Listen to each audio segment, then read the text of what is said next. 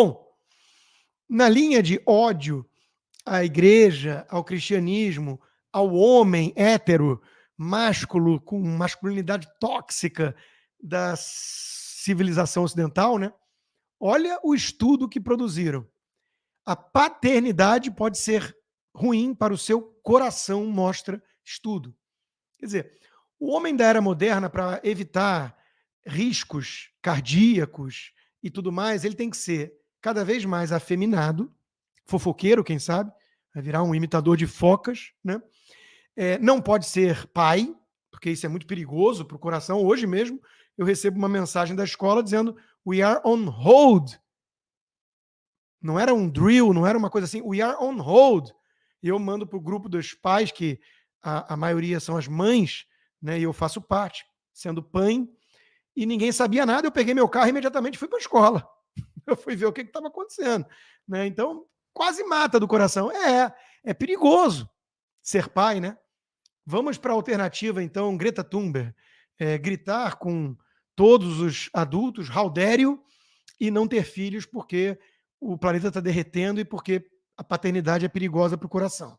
Então é isso que eles querem, né? É uma campanha contra a própria sobrevivência da humanidade. Não por acaso o Elon Musk chamou de os extensionalists, né? São aqueles que querem. Como é que ele chamou? É isso o termo? É, são aqueles que querem extinguir a, a, a raça humana do planeta, né? Porque somos as pragas do planeta. Então é uma visão aí sim eivada de misantropia. Eles são misantropos e projetam nos outros aquilo que eles são. Tanto é verdade que eles querem o quê? Uma fábrica de aborto. Eles querem banalizar o aborto. Já foi o tempo em que o movimento feminista, esquerdista, queria a liberdade de matar o bebê no ventre. Mas reconheciam, pelo menos à época, que era uma coisa ruim que era uma coisa dolorosa. Hoje não. Hoje as feministas insanas, cada vez mais malucas, elas dizem que têm orgulho de ter matado o bebê no ventre. Orgulho. Eu só me considero uma mulher plena porque eu matei o bebê no ventre. Tem um monte de feministas repetindo esse tipo de atrocidade. O que nos leva a essa imagem muito bem bolada, né? O sacrifício das crianças pelos pagãos, pelos ateus, pelos anticristãos, é, continua. Antigamente nas pirâmides, hoje em dia nos prédios da Planet Parenthood, a grande fábrica de aborto. Eles querem porque querem matar todos os bebês. De vez em quando nasce um bebê já meio irritado com isso. Sextou, a gente tem que poder também trazer um pouco de humor aqui, né? E esse bebê viralizou nas redes sociais. O Joaquim Teixeira, grande, grande jornalista investigativo, nosso Sherlock Holmes do Piniquim, ele foi atrás para descobrir qual era a causa da irritação aparente do bebê. E descobriu. Ele soube que nasceu no Brasil.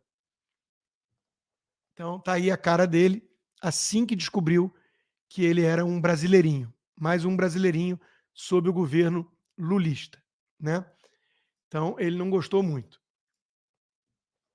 Ah, na linha de tentar embaralhar tudo, dizer que nada mais é normal, que não existe normalidade nem loucura, e ideologia de gênero, e somos o que quisermos ser nesse hipersubjetivismo.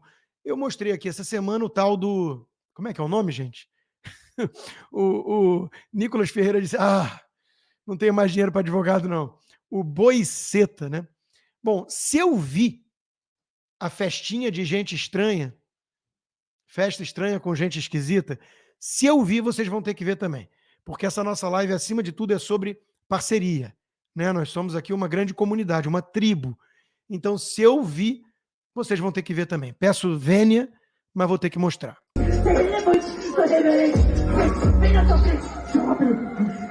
E nunca vai a você nunca vai aceitar que 20 nominais voz feita, largue esse seu ser ser trouxa, tá da boca dos trouxas, e não se suporta forçando as garopas, não tô na garupa, não tô pela no é pelo ar que eu respiro, não fica pesado, a ponta que garganta, vai pensando que ela te ação, de quebrar seu arco de segurança, vai me sentir, mas não me acompanha, e capa preta, minha casa...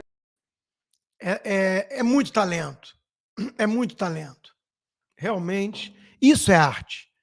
Se alguém te falar que arte é um quadro do Caravaggio, uma ópera do Mozart, uma sinfonia do Beethoven, uh, desconfia.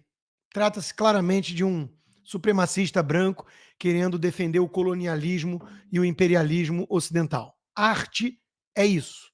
É o talento do boiceta. Vamos, vamos em frente. Porque às vezes a gente está. É, é, perigoso ir em frente, que a gente está chegando num abismo. Né? Eu prefiro, às vezes, virar e falar: volta que deu merda. Deu merda com a evolução. Darwin errou tudo. É, vamos vamos, vamos para trás. Vamos resgatar as coisas do passado, porque o presente está assustador. Mas vamos lá, né? Como há luz no fim do túnel, eu tenho gostado de acompanhar o filho do John Lennon, o Sean Lennon, porque ele tem, ele tem acertado, né? Olha só, essa coisa de woke não é uma religião, é um culto, uma seita fanática. Eu estou começando a me dar conta de que nós temos que tratar os membros dessa seita como vítimas de manipulação, doutrinação e abuso, mais ou menos como aquelas mulheres e crianças do Jim Jones, que acabaram cometendo um suicídio coletivo de quase 900 pessoas no meio de uma floresta né, na América Central, porque estavam sob efeito de um culto, uma loucura, que nem o Wild Wild West. É, eu já recomendei esse documentário da Netflix, muito bom, sobre o, o, o guru de muita gente entediada da Califórnia, né? E, e da Vila Madalena, o, o, o grande sábio, Osho, né? picareta, embusteiro, mas enrolou muita gente. Então, é isso. É isso que está acontecendo com o mundo. Só que as redes sociais deram voz e magnitude a todos esses loucos que antes a gente ia olhar na praça pública com o olho torto e eles iam se sentir constrangidos. Era o bom e velho bullying que, que tinha um efeito darwinista, né, de criar casca grossa nessa gente mimizenta maluca e eles iam ou para um hospício se tratar, para um divã de um psiquiatra, ou iam lá para um meio do nada num culto desse maluco e no limite tomar cicuta e morrer junto com o, o guru. Né? E, e, a gente olhar e falar, nossa, que coisa espantosa, e vida que segue. Mas eles não iam estar, eles não iam estar no comando das redes sociais, da, do, de ministérios de, de uma nação importante como os Estados Unidos, né? Eles não iam está no poder. Esse é o perigo. Esse é o perigo da era moderna. Maluco existiu desde sempre, mas hoje eles estão no comando. No comando. E eles se acham, né, os sábios, a, a, a última bolacha do pacote, que nem o, o petista Mário Sérgio Conte. Defender os ateus é defender a razão. Uhum. Uhum. É, porque obviamente que você pega um Chesterton da vida, um C.S. Lewis, eram pessoas claramente irracionais, bobinhas, ignorantes. Inteligente mesmo é o ateu imitador de focas. Esse é um sábio, né?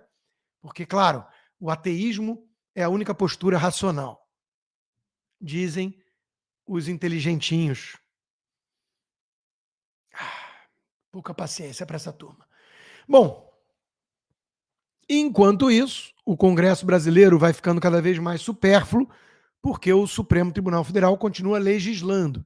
E eu trago esse assunto aqui, meio fora de ordem, do STF, que é sempre a nossa última pauta, porque tem a ver com a guerra cultural. Flávio Dino derruba a lei do Amazonas, que proíbe linguagem neutra nas escolas, e o Alexandre de Moraes também anda tomando decisões nessa linha. Ou seja, eles não querem que as próprias câmaras legislativas com representantes eleitos possam se debruçar e eventualmente legislar sobre esse assunto. A proibição de falar todes é algo que deve vir do Poder Legislativo e não do Supremo. O Supremo vai lá e protege aqueles que querem assassinar a língua, porque eles dependem da obliteração deliberada da linguagem para fazer avançar o caos, a loucura. Porque, ao contrário do que eles pensam, viu, Conte? Eles não são os racionais na história. Eles são os seguidores de um culto, de uma seita ideológica, totalmente irracional. E eles precisam destruir a capacidade racional nos seres humanos para inviabilizar qualquer tipo de debate. Como eles não estão conseguindo nem isso, mesmo com linguagem neutra, eles precisam apelar para a censura que é a última ratio dos autoritários. A última mesmo é a violência, mas a censura não deixa de ser uma violência. Bom, eu vou entrar agora no assunto principal, claro, do Donald Trump condenado. Antes, eu quero dizer para vocês o seguinte: cruzaram o Rubicão Diz tudo, né? Resume tudo. Injustiça. Injustiça. O júri de Nova York, por unanimidade, como tinha que ser, condenou por 34 crimes, que são basicamente os mesmos e vagos, porque isso foi um dos problemas do julgamento, entre tantos. Né? Não definiu-se ali o, o, o crime, de fato, para o júri todo ter que concordar com aquele crime. Foram três acusações mais difusas e óbvio que todo mundo sabe que foi um julgamento político. Eu não vou me aprofundar demais nesse caso, porque foge ao escopo e não tem tempo. Mas é o caso do Hush Money da Stormy Daniels, que ocorreu em 2015 e 16. Já teria prescrito. Ninguém, se não fosse o Trump, seria julgado, muito menos condenado por isso, que é um crime menor, é um misdemeanor tiveram que forçar muito a barra para incluir ali a questão eleitoral, que era um crime federal que fugia, portanto, da jurisprudência do Alvin Bragg, o procurador de Nova York. Veja quantas ilegalidades. Veja como isso parece coisa de Brasil. Veja. O Alvin Bragg, aqui o procurador é eleito. Ele foi eleito na sua campanha prometendo ir atrás de Donald Trump. Olha que coisa louca. Ele, ele já tinha o culpado, ele precisava inventar um crime. Ele não falou assim, eu vou atrás de quem cometeu crimes. Não, ele falou assim, eu vou atrás do Trump, eu sei como fazer. Eu já processei a família Trump por outras coisas, eu vou atrás do Trump. É como diria o Bernia na União Soviética: me dê um homem e eu acuso do crime, encontro o crime. Foi isso mais ou menos que fizeram. Então, era misdemeanor, não era jurisprudência, teve que criar o crime federal. Veja a, a forçação de barra. Ele pagou para calar a Stormy Daniels para manipular a eleição. Mas isso é uma leitura muito esquisita e abrangente, porque tudo impacta uma eleição no ano eleitoral. Exemplo, dado pelo Ben Shapiro. Se você vai na academia fazer musculação, você está fazendo isso para ficar mais bonito e influenciar votos. Logo, agora todos os candidatos podem descontar como dinheiro de campanha a malhação, o treino. É louco isso, né? Mas foi a forçação de barra que fizeram. Ele pagou a Stormy Daniels por causa da interferência na eleição. Pode ter sido para não constranger a família. Ah, mas foi ano eleitoral. Ele fez várias outras vezes. Ah, tinha um NDA, que é um é, é, Non-Disclosure Agreement. Por qualquer acordo legal nos Estados Unidos, qualquer acordo entre as partes vai para um non-disclosure agreement. Você paga e você tem um acerto de contas de que aquilo não vai ser revelado. Novamente, nenhum crime nisso. Então, acusar de fraude contábil, um caso que era de justiça federal, num distrito de Manhattan, por um juiz politizado, do Jorge Soros. Anos depois, Óbvio que isso é político. Eu, eu quero ver. Bota um Caio Blinder, um Guga Chakra, oi Guga, qualquer um na minha frente, eu quero ver, depois de ouvir tudo isso que eu falei de forma bem resumida, eles sustentarem. Não, não, você está defendendo Trump. É um criminoso. É a justiça imparcial. A justiça está funcionando. Trump questionou a justiça. Trump está. O Robert De Niro, que foi fazer aquele papelão, pior papel que ele já fez, e olha que ele é um bom ator, ali foi patético chegou em frente ao tribunal de máscara, três anos depois do fim da pandemia, de máscara, dizendo que o Trump é uma ameaça à democracia. O que isso tem a ver com a manipulação contábil da qual ele foi acusado? Nada. Nada. Então, eles sequer escondem que estão perseguindo Trump. Agora, o mais ameaçador para uma democracia não é qualquer coisa que o Trump fala ou tuita. É isso. É o que os americanos chamam de weaponization of justice a instrumentalização do judiciário. Isso é o perigo. E é isso que chocou a América. Claro, o veredito em si, muitos já esperavam, afinal de contas, é Nova York, né? E Nova York é game over. Nova York vai virar um fumódromo de maconha e nada mais. Mas é grave. Não obstante, é muito grave. Elon Musk falando o grande estrago causado hoje para a fé pública no sistema legal americano é algo muito grave. Muito grave. Se o Trump pode ser condenado por algo tão trivial assim, criminalmente, ninguém está salvo. Qualquer um pode ser alvo. Qualquer um pode ser perseguido. O Ron DeSantis talvez tenha escrito a nota mais é, elegante e técnica, na minha opinião. O veredito representa o, o, o, o ápice de um processo legal que foi totalmente politizado para começar com todos os envolvidos. O procurador esquerdista, o juiz partidário, que aliás doou dinheiro para a campanha do Biden, o juiz Marchand, estava fazendo merchan do Biden, desculpa o trocadilho, e por aí vai. Ou seja, é um, uma corte canguru, como eles chamam aqui na América. Uma corte canguru. Isso é coisa de republiqueta das bananas. A reação foi enorme, enorme. Tucker Carlson, importe o terceiro mundo e torne-se o terceiro mundo. É isso que acabamos de ver. Eu não concordo 100% com ele, eu entendo o que ele está querendo dizer, o Tucker Carlson tem pisado na bola em muitos pontos, na minha opinião. Eu entendo o que ele quer dizer, mas ele quer pegar isso para usar a causa principal dele, que é a questão da imigração e fechar a fronteira. E no Brasil já tem lá gente na Globo News falando: ah, eu não entendo um brasileiro é, defender o Trump, que é contra a imigração. Os republicanos e o Trump, inclusive, não são contra a imigração coisa alguma. Eles são contra imigração ilegal. Como qualquer um deveria ser, na minha opinião. Rule of law. Você não pode querer entrar na América já cometendo um crime. Eles não são contra imigrantes. Aliás, é uma nação de imigrantes. E a Flórida é um estado de imigrantes. E a Flórida está à contramão de Nova York. E, e, e, esses envolvidos são todos eles, tirando o Alvin Grab, da elite de homens brancos, heterossexuais. Para começar com o Biden, o Jorge Soros, o juiz Marchand e por aí vai. Ah, são os republicanos chorando, gritando. Tá. E o independente agora, ex-democrata Robert Kennedy Jr. A estratégia do Partido Democrata para derrotar Trump é usar um tribunal em vez das urnas. Isso vai ter um efeito bumerangue em novembro. E isso também é profundamente antidemocrático. Ele está certo. Ele está certo. Editorial do Wall Street Journal, o jornal mais sério dos Estados Unidos. Muito mais do que New York Times, que é reverenciado pela esquerdalhada no, nas redações de jornais do Brasil. Um veredito culpado para Trump e as consequências disso para o país.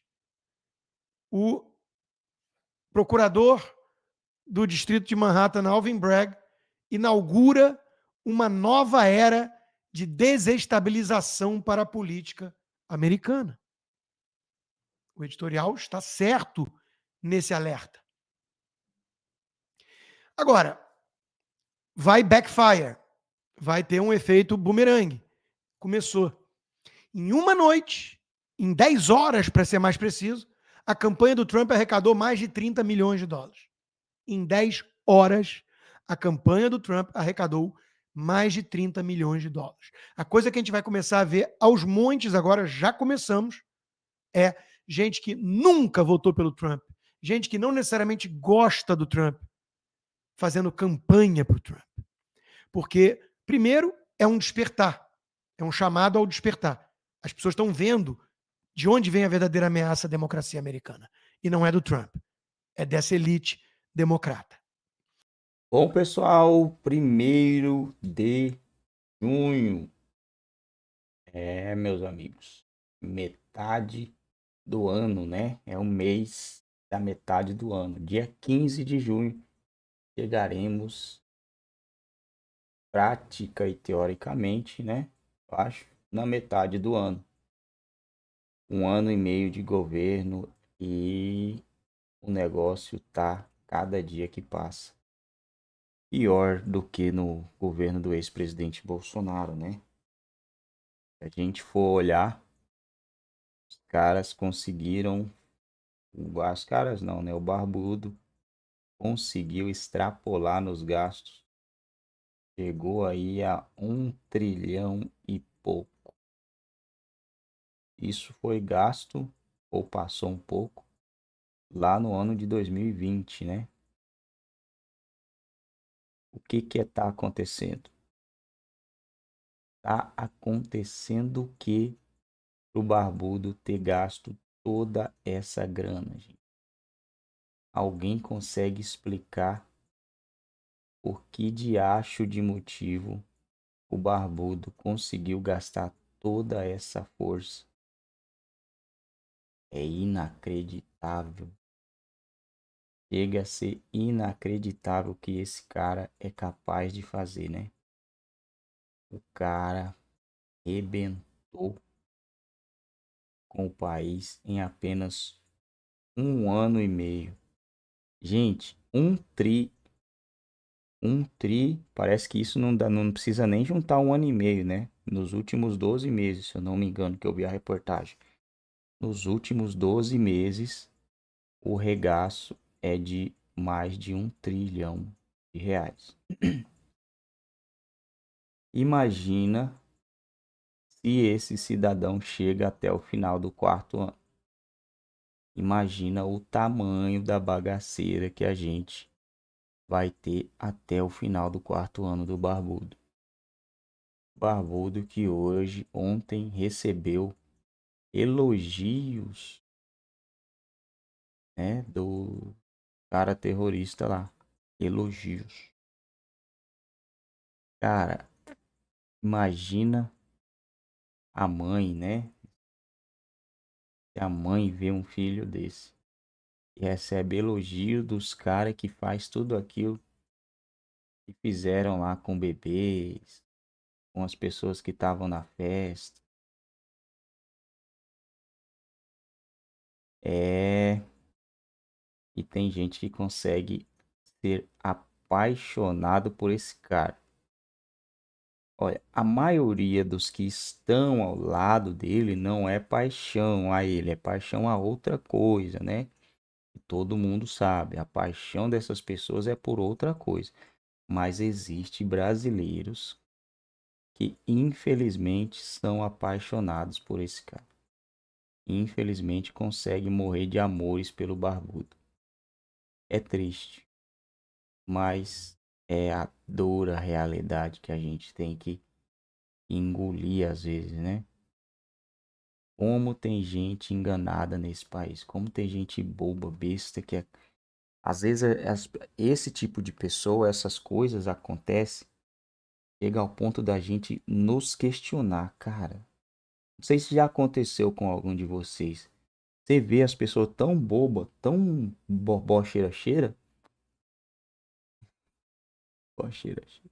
Que você fala, rapaz, espera aí. Será que eu tô em alguma matrix semelhante a dessa pessoa aí que eu não consigo enxergar o que tá aqui no a um palmo de distância, tá no meu eu não será que eu tô igual a essa pessoa que porque gente, é inacreditável como tem gente besta no, nesse planeta. Os caras acham que os malardiçoados são inocentes, que eles que foram atacados. Como que eles conseguem achar isso, gente, vendo tudo que esses caras fez? Como eles conseguem achar isso? Ah, mas já tá feito. Ah, mas agora era só o o, o Israel parar. Se eles param, eles vão estar dando brecha. Infelizmente, gente, é assim. Se eles param, eles vão dar brecha para os caras fazer tudo de novo. E aí, quando alguém falar aquele ditado, né? Antes a mãe dele do que a minha. Todo mundo fala esse ditado. Mas nessas horas, os canhotos não vê isso. Nessas horas a hipocrisia reina, né? E você imagina, você está dentro da sua casa. de boa, sem caçar encrenca com ninguém. Com ninguém. Aí, não vou falar outras palavras aqui mais pesadas, mas eu, eu entendo o peso do que aconteceu, mas eu vou colocar algo bem bem de menos peso aqui. Tá de boa aqui, pá. Chega o vizinho ali, entra, pula o muro, mata seus cachorros, gato, periquito, quebra suas coisas que tá ali fora, quebra sua casa todinha, te rouba. Só que tem um detalhe. Você sabe quem foi, você sabe aonde ele mora e você tem um poder de fogo muito maior que 10 vezes maior que o dele. Um poder de fogo 10 vezes maior do que o dele. E aí? Poxa, toda vez ele faz isso. O que, que você vai fazer com esse cara? Qual é a lógica? Não, não aguento mais passar por isso. É, chega, é há muitos anos esse cidadão me persegue. Então, como eu sou mais forte, eu tenho mais poder de fogo que o dele. Eu vou lá, gente. A tendência, né, a pessoa é o ir lá e fazer o triplo, o quadruplo. Tentar rasgar mesmo no 12. É, tem civil, tem. Mas e aí? Você não vai fazer e vai deixar o cara ficar sempre indo lá na sua casa? Ah, não, mas é porque tem civil. Mas o cara vai poder estar tá sempre lá na sua casa e fazendo isso. E você vai ficar com um dó. É, um, é, um, é uma decisão difícil de se tomar. Você vai ficar com dó e ele não vai ter dó de você. Você fica com dó e o cara não tem dó. Você fica com dó e o cara não tem dó. Chega uma hora que você vai perder tudo. Porque toda vez o cara vem aqui e faz um estrago. Aí você fica com dó. Vem aqui e faz um estrago, você fica com dó. Chegou o ponto de que Israel não aguentou. Né? O cara quer meter lenha pra cima do, do, do barbudo aí. Do barbudo, ó. Dos amiguinhos do barbudo, né? Os caras lá são amiguinhos do barbudo. Inclusive, um caiu, né, do helicóptero. O helicóptero caiu esses dias aí. Foi pro, foi pro barro. O pessoal lá, o barbudinho aqui, prestou condolências, meus pêsames ao país país soltando fogos, dando graças a Deus que o cara foi pro pau, né? o Barbudinho, ele acha que ele que esses caras são grandes líderes, né? Ele acha que ele é grande líder, Barbudinho. Na mente dele, ele é um grande líder máximo, respeitado. Eu como que eu fico acho estranho como que ele acha isso, sendo que ninguém dá moral para ele, né? Quando eles vão em algum lugar, eles têm que levar o pessoal para aplaudir eles Vamos supor, eu vou levar vocês, vocês vão viajar obrigado comigo. Vocês não querem ir, mas vocês vão para me aplaudir lá. Tá? E aí, pessoas, esses que andam com ele fica com mais raiva dele ainda, né? Só estão ali por causa do né? Papel, papel, esse papel tem um poder que vocês não têm noção. Não quer estar tá perto dele. Mas vão lá aplaudir ele, fingindo só pra para dizer que, que tá apoiando, mas na verdade não estão. Ninguém quer estar tá perto do Barbudinho. Ninguém. Na contramão de Lula, Bolsonaro tentou ampliar isenção em compras para 100 dólares. E o Barbudinho não. O Barbudinho já fez diferente e fez fazer falar para que ele não é o culpado, mas na verdade nós sabemos que ele é o culpado. Mas tem um povinho dele que vai acreditar que a culpa é até do Bolsonaro. Se ele falar que a culpa é do Bolsonaro, o povo vai acreditar. Pesquisa revela que a avaliação positiva de Haddad despencou em um ano. Ele tinha avaliação positiva?